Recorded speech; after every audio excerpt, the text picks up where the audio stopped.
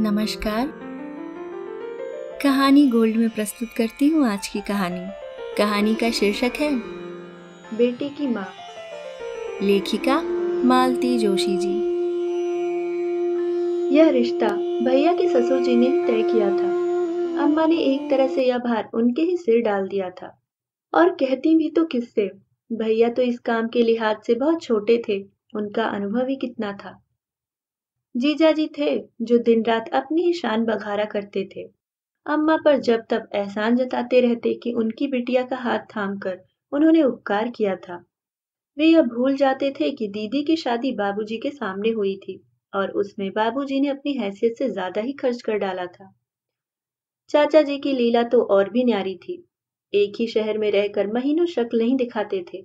हाट बाज़ार में मिलते तो हालचाल पूछने से कतराते थे कि कहीं कुछ लेना देना न पड़े। लेकिन जान पहचान वालों के सामने यह दिखावा ज़रूर करते थे कि स्वर्गीय भाई साहब की गृहस्थी का भार ढोते ढोते उनके कंधे झुकाए हैं। भैया की इंजीनियरिंग की पढ़ाई का तो पता नहीं कहाँ कहाँ रोना रोया होगा। इसलिए यह बात एक तरह से तय थी कि हम दोनों की शादी के लिए इन दोनों का कोई एहसान नहीं लिया जाएगा। भैया के लिए तो खैर कोई समस्या ही नहीं थी। उन्हें नौकरी बाद में मिली, रिश्ते पहले आने लगे थे। सवाल तो मेरा था। अम्मा को बस मेरी शादी की चिंता ही घून की तरह खाए जा रही थी। इसलिए उन्होंने सीधे समधी जी से ही बात की। देखिए भाई साहब दो दो बार मेहमानों को झेलना मेरे बस का नहीं है, न मेरे पास उतना पैसा है, न काम बटाने वाले हाथ हैं। इसलिए मैं एक ही बार में सब निपटा कर छुट्टी ही लेना चाहती हूँ। किसी तरह इस लड़की के लिए एक वर्ष जुटा दीजिए तो मैं फुर्सत हो जाऊँ। आपकी बेटी के सिर भी फिर कोई भार नहीं रहेगा। बेचारे पांडे जी समझ गए कि यह बहन जी का अनुरोध नहीं है, आदेश है। एक तरह से शादी की शर्त ही है। बेचारे अपनी बिटिया के लिए जूते चटका कर हलकान हुए जा रहे थे। अब यह एक और ज़िम्मेदारी सिर पर आ गई। अपनी लड़की के लिए वर खोजना फिर भी आसान है। आपको अपनी हैसियत का औकात का पता होता है। भले बुरे की ज़िम्मेदारी भी आपकी अपनी होती है। दूसरों के लिए काम करते समय तो दस बार सोचना पड़ता है। पर इंजीनियर दामाद पाने का लालच उन्हें बल दे गया और वे मेरे लिए भी एक नायाब हीरा खोज कर ले आए। लड़का उन्हीं के शहर कानपुर का था। अंग्रेज़ी में gold medallist, M A PhD, अपना मकान, घर में केवल भाई भाभी मकान भी दो हिस्सों में बटा हुआ। जब मर्ज़ी हो किराएदारों से खाली करवा कर अलग गृहस्थी बसा लो। इतना अच्छा रिश्ता तो शायद हम लोग भी नहीं खोज पाते। और यहाँ खोजने को था ही कौन? देखने दिखाने का कार्यक्रम कानपुर में ही संपन्न हुआ। हम लोग भाभी की गोद भरने गए थे, भैया भी साथ हो लिए थे। वहीं उन लोगों को बुला लिया गया, परिचित तो थे ही। बात तय हो गई तो खुश हो गए कि परिचय अब रिश्ते में बदल जाएगा। हम लोग किसी तैयारी से नहीं गए थे। फिर भी चाचा जी ने लड़की को एक सौ एक रुपए देकर शगुन लिया। उनकी भाभी ने मुझे एक साड़ी दी। सगाई के लिए साड़ी ढूँढने की बात थी तो उनके भाई बोले मैं इन ढकोसलों में विश्वास नहीं करता। बात तो हो ही गई है। अब आप शादी की तैयारी कीजिए। सब लोग बहुत खुश थे। ऐसे सुलझे हुए इंसान आजकल कहाँ मिलते हैं? दिवाली के बाद पहले दो मुहूर्तों पर शादी करना तय हुआ। बीच में दो तीन दिन का अंतराल था, जो कि ज़रूरी था। इस बीच थोड़ा सा व्यवहारिक आदान प्रदान भी शुरू हो गया था। जैसे जन्मदिन की बधाइयाँ, उपहार आदि।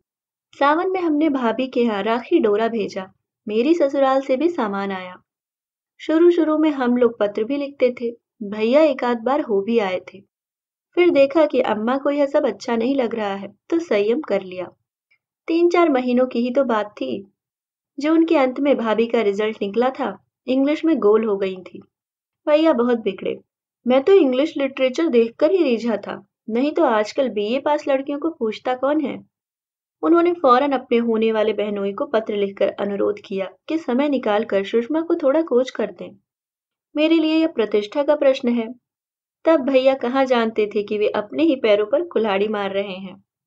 अम्मा के उत्साह का अंत नहीं था। अपना गठियावाद सब कुछ भूल कर वे तैयारी में जुट गई थी। उनकी खरीदारी जैसे खत्म ही नहीं हो पा रही थी।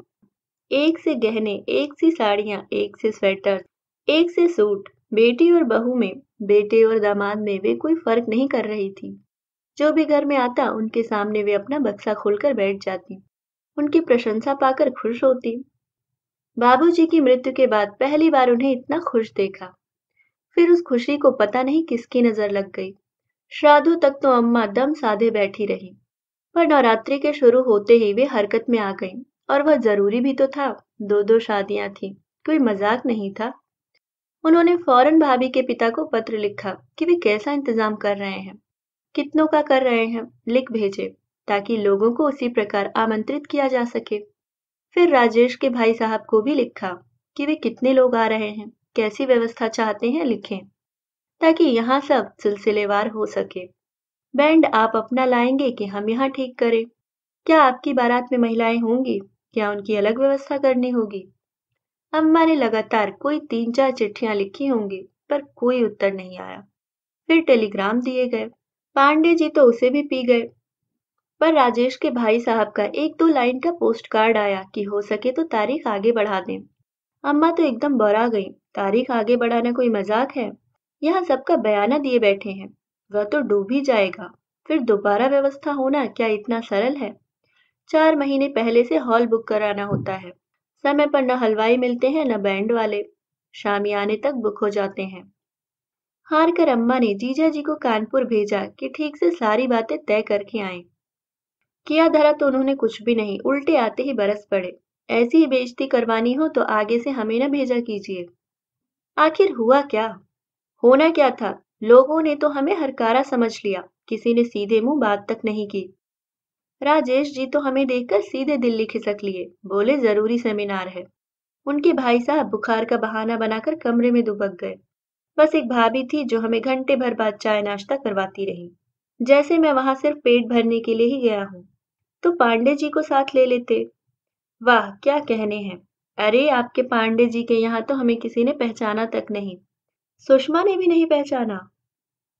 कहा तो दरवाजे से ही टरका दिया। कह दिया कि पांडे जी तीन चार दिन के लिए बनारस गए हैं। जब वे लौट आए, तब आइएगा। कसम है मुझे, जो अब मैं उनके दरवाजे थूकने भी जाऊँ। अम्मा तो सचमुच डर गई। जीजा जी इस अपमान का बदला भैया की शादी में ज़रूर निकालेंगे। इसमें संदेह नहीं था। फिर अम्मा ने चिरौरी करके चाचा जी को भेजा। चाचा जीजा जी की तरह सोफिस्टिकेटेड आदमी नहीं थे, बिल्कुल ठेठ किस्म के जीव थे।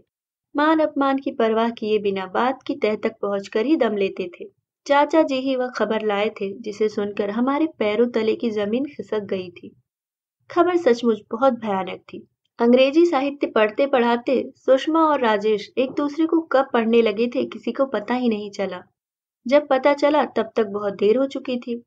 समझाने बुझाने के सारे प्रयास विफल हो गए और फिर एक दिन किसी मंदिर में फेरे लेकर इन लोगों ने वह विषय ही समाप्त कर दिया। पांडे जी बेचारे क्या कहते, बस चाचा जी से क्षमा मांगते रहे। लेकिन राजेश ने साफ़ कह दिया, सगाई वगैरह तो हुई नहीं थी। I was not legally bound to her अगर सगाई हो भी जाती तो भी क्या फ़र्क पड़ना था? मन क्या कभी इन बंधनों की परवाह करता है? सुषमा को ही सगाई का बंधन कहाँ रोक पाया? अम्मा तो गुस्से से पागल हुई जा रही थी। उस दिन भैया जैसे ही काम से लौटे, वे उन पर टूट पड़ी। और पढ़ा लो अंग्रेज़ी। पता नहीं रानी जी को कहाँ की कलेक्टरी दिलवानी थी? अरे नहीं आती थी अंग्रेज़ी तो ना सही। हिंदी में बात करती तो क्या तुम छोटे हो जाते? और अब चार लोग सुनेंगे तो कितनी इज़्ज़त बढ़ेगी। चुड़ैल सबके मुँह पर झाड़ू फेर कर चली गई। भैया हतबुद्ध से अम्मा का प्रलाप सुनते रहे। उनकी समझ में उसका सिर पर कुछ भी नहीं आ रहा था। बड़ी देर बाद उनको पता चला कि माजरा क्या है और वे पत्थर हो गए। मैंने सोचा था कि उनकी प्रतिक्रिया भी अम्मा की तरह विस्फोटक होगी, पर वे बुत बने बैठे रहे। थोड़ी देर बाद बिना कहे सुने बाहर चले गए। बारह घंटे बाद उनका छत विछत शरीर ही वापस लौटा था। इस अपमान को, इस लज्जा को वे बर्दाश्त नहीं कर पाए और वे रेल के सामने कूद गए थे। मरना तो मुझे भी था, पर अम्मा को देखकर जी कड़ा कर लिया। इस वज्रपात को वे अकेले कैसे झेलती? दुख की इस घड़ी में मेरे सिवा और कौन था जो साई की तरह उनके साथ रहता? निसंदेह उनका दुख मेरे दुख से बहुत बड़ा था। तब से साल पर साल गुजरते चले जा रहे हैं। उम्र मुट्ठी से रेत की तरफ़ फिसलती जा रही है और मैं हूँ कि वहीं खड़ी हूँ, जहाँ पच्चीस साल पहले खड़ी थी। ट्रिंग ट्रिंग ट्रिंग। एक साथ पता नहीं कितनी घंटियाँ बज उठी थी। तंद्रा टूटी तो देखा, कंडक्टर कान के पास खड़ा चिल्ला रहा था। बहन जी, उतरना नहीं है? हड़बड़ाकर उठ खड़ी हुई तो देखा, सारी बस मुझे घूर रही है। कंडक्टर रोज का परिचित था इसलिए सज्जनता बरत रहा था। पर यात्रीगण मुझे क्या क्षमा करते? या आधे मिनट की देरी भी उनके लिए असहाय थी, इसलिए उतरते समय कितनी ही फप्तियाँ सुननी पड़ी। आजकल तो लेडीज़ भी पत्ती खाकर चलने लगी हैं। अरे, किसी के ख्यालों में खो गई होगी। इस उम्र में शर्म से गड़ गई मैं। रास्ता चलते हुए भी जैसे ये आवाज़ें मेरा पीछा करती रही और मैं कुड़ती रही। क्या जमाना आ गया है? लोगों में जरा भी लिहाज नहीं रह गया है। जो मुँह में आया बक देते हैं। साथ वाले भी उन्हें टोकते नहीं। उल्टे ही ही करके हंस देते हैं। चलते चलते मैं अचानक ठिठक गई। अपने भुनभुनाते मन को मैंने ठीक से टटोला तो स्तब्ध रह गई। मुझे ज़्यादा व उम्र वाला फिक्रा ही चुभा था। गोया तैतालीस साल की उम्र में कोई किसी के ख्यालों में डूब ही नहीं सकता। अगर यह सच होता तो क्या मैं अतीत को इतनी बारीकी से याद रख पाती? क्या उस भयावह अनुभव को फिर से जी पाती?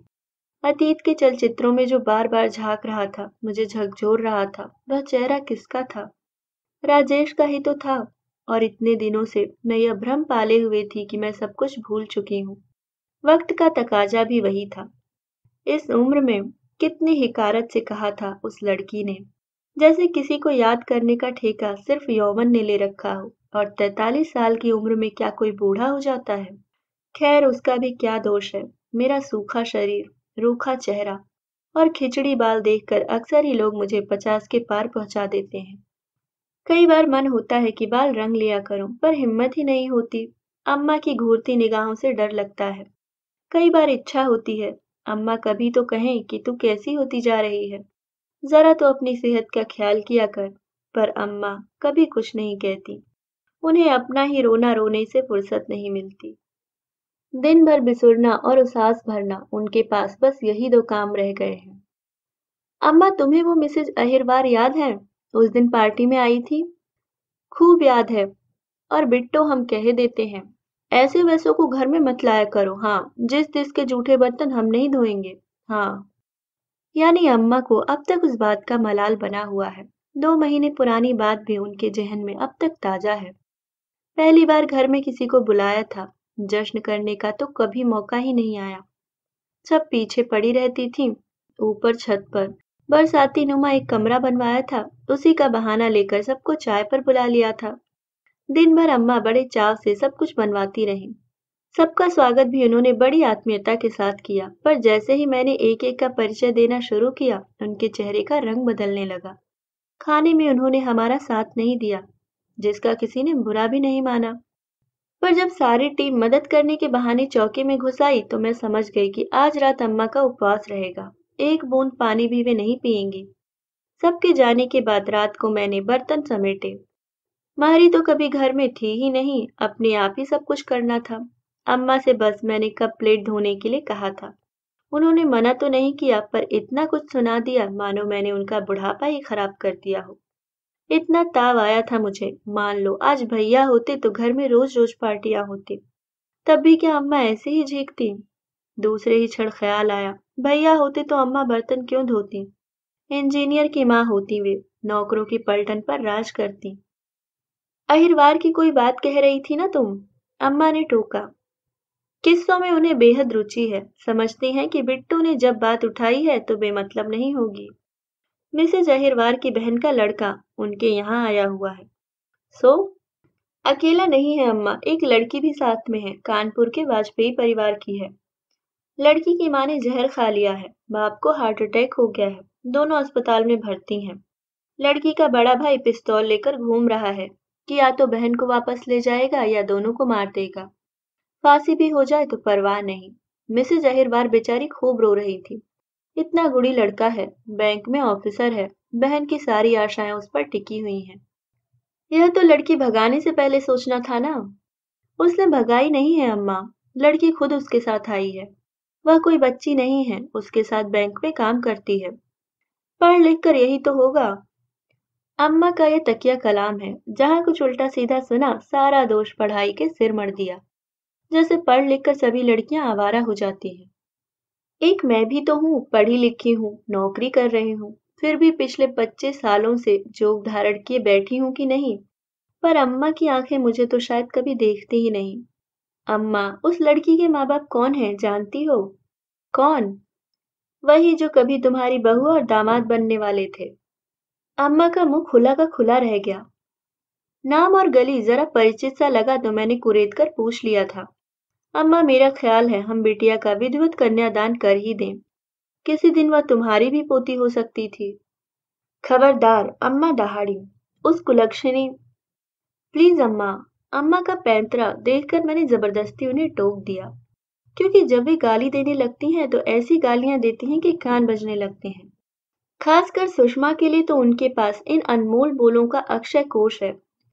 राजेश हर बार साफ़ बच जाते हैं, क्योंकि हत्या तो भैया की हुई है। मुझे भी किसी ने ज़िंदा लाश बना दिया है, या उन्हें नज़र नहीं आता। मेरे टोकने से अम्मा की धारा प्रवाह गालियों पर ब्रेक तो लग गया, पर उनका बुदबुदाना अब भी जारी था। अम्मा, मैंने कहा, क्यों अपनी जबान गंदी करती हो? अपनी करनी तो वे खुद ही भोग रहे हैं। बिट्टो, यह तो होना था। बबूल में कभी आम फले हैं? ऐसी माँ की कोख से सती सावित्री तो पैदा होने से रही।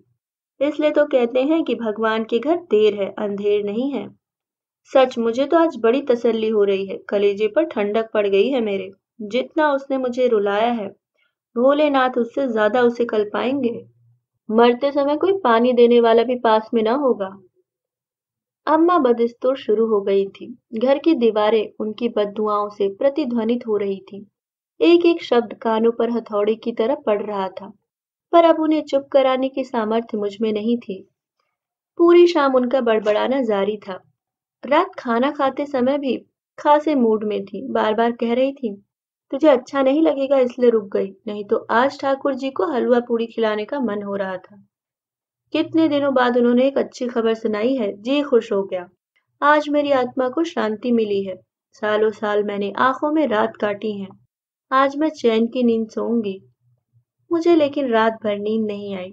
फुर्सत में लेटे लेटे जब अपना ही मुआयना किया तो मैं चकित रह गई। मेरी नींद खुशी ने उड़ा दी थी। हाँ सचमुच में बहुत खुश थी। शायद अम्मा से भी ज़्यादा खुशी थी। मुझे अम्मा से ईर्ष्या हो रही थी। कितनी सुखी हैं वे। बेखटके मन की बात कह डालती हैं। और मैं सभ्यता का मुखौटा ओढ़े बेवजह अपने में कुड़ रही हूँ। अपना यह स्वांग किसे दिखाना है मुझे? किसे रिझाना है? मैं खुलकर कहती क्यों नहीं कि आज मेरे कलेजे पर भी ठंडक पड़ी है? मेरी बदुआएँ भी रंग लाई हैं। तुमने हम दोनों भाई बहनों की ज़िंदगी उजाड़ दी थी। आज तुम्हारे दोनों बच्चों के सिर पर भी काल नाच रहा है। ईश्वर ने बहुत सही न्याय किया है। पर मज़े की बात यह थी कि मेरा सारा रोष, आक्रोश राजेश के लिए था। सुषमा को तो मैंने कब का बरी कर दिया था। नींद नहीं आ रही थी, फिर भी दम साधे पड़ी रही। करवट बदलते भी डर लग रहा था। कमरे के दूसरे छोर पर अम्मा की चारपाई थी। बहुत दिनों बाद चैन की नींद सोई थी। सोचा, अपनी खटर पटर से उनकी नींद क्यों खराब करूँ? तीन बजे तक मैंने किसी तरह सब्र किया, फिर उठना ही पड़ा। मैंने बिल्कुल आहिस्ता बिस्तर छोड़ा, दबे पाँव भीतर गई, बाथरूम का दरवाज़ा पानी का मटका, बहुत धीरे से खोला और बंद किया, जरा भी आवाज़ न होने दी। आवाज़ के डर से ही बिजली का स्विच तक नहीं दबाया। उसी तरह दबे पाँव लौटकर कमरे में आई। देखा अम्मा की चारपाई खाली थी और शायद वह बड़ी देर से खाली रही होगी, क्योंकि देर तक जागने के बावजूद मुझे उनके खांसने खखारने की आवाज़ सुनाई नहीं दी थी। कहाँ चली गई अम्मा? भीतर तो नहीं थी। मैंने बाहर झाका। बरामदे की जाली से लगी वे एक टक बाहर निहार रही थी। अम्मा, मैंने आवाज़ दी। वे चौकी। उन्होंने पलट कर देखा। उनकी आँखें डबडबाई हुई थी। शाम को उल्लास से दमकता उनका चेहरा बुझ गया था। क्या बात है, अम्मा? नींद नहीं आ रही? उत्तर में उन्होंने फिर शून्य में नज़रें गड़ा दी, डूबती सी आवाज़ में बोली, सब किस्मत की बात है, लली। एक वह बेटा है, जो घर की आन बान के लिए मरने मारने को उतारू हो गया है। एक हमारे थे जो चुपचाप पटरी पर लेट गए। यह भी न सोचा कि अम्मा का बुढ़ापा कैसे कटेगा। मैं स्तब्ध रह गई। अम्मा की पीठ पर रखा मेरा हाथ बर्फ़ हो गया। तो क्या अम्मा सारी रात जागकर इसी का मातम मना रही थी? क्या वे बिल्कुल भूल गई कि उनके बुढ़ापे की गरिमा बनाए रखने के लिए मैंने अपना यौवन राख कर दिया है? वे फफक कर रो पड़ी थी, पर मैं जड़वत खड़ी रह गई। उन्हें सांत्वना देने का जरा भी मन नहीं हुआ, क्योंकि पता था कि इन आंसुओं में से एक भी मेरे लिए नहीं है।